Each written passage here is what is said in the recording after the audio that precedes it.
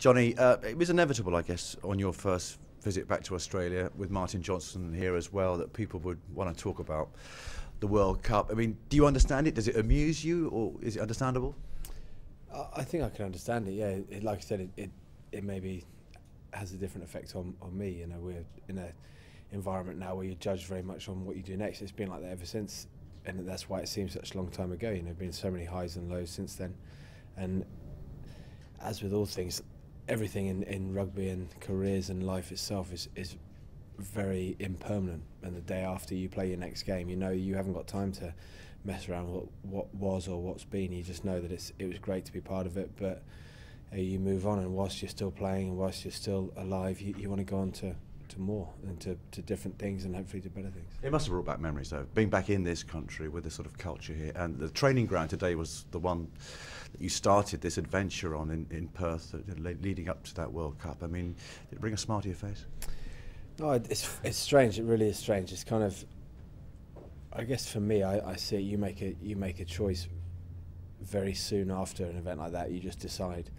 Um, and for some guys the decision was different because they were towards the end of their careers and, and they were ready for, for moving on and, and that decision is like I said they they have the, the opportunity and it's quite a nice one I imagine to be able to say what a great day and how about that caps off a, a great you know a great career that they they'd had. For me you know it was a it was a great day but you know I wanted to move on and therefore after you make that decision you know I've, I've spoken to John a couple of times in the hotel just sort of said oh, you know wasn't this our old team room sort of thing? Or you know this pitch today. By the end of the session I thought crikey this is where we train but it doesn't it doesn't hit you any quicker than that nor does it matter anymore. It's just a flashing thought. Then you realize that mentally you need to be 100% into what you're doing now. Oh, this this tour we're on is all about preparing for the next World Cup. You've got happy memories but I guess inside you burns the desire for, for more success in that England 10 shirt winning it back.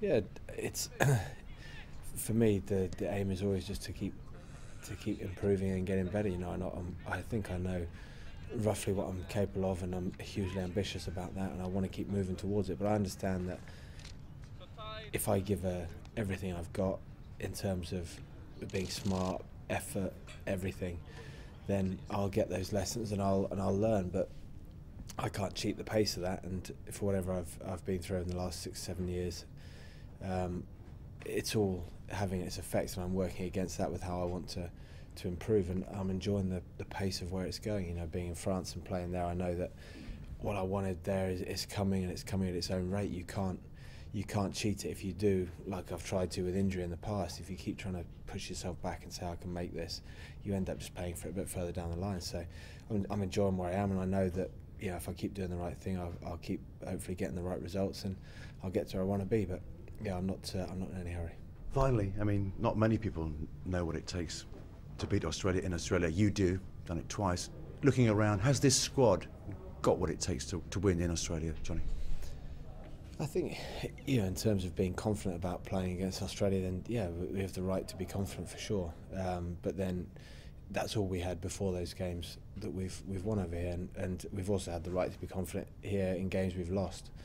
Um, you know, against teams like this, you have you earn the right to go in there to to be competitive and to, to dig in but the game is ultimately the game is built on you know the cumulative effect of big moments you know and and uh, and the momentum that's built up through that so yeah that we have we have I believe what it's take to be massively competitive and to know that we can win this game much the same as they do but we still need to go out there and, and string together all the right things and, and, and do the right things make the right decisions to you know, to try and bring that around. But it's going to be, you know, that, that, that never ever comes easy.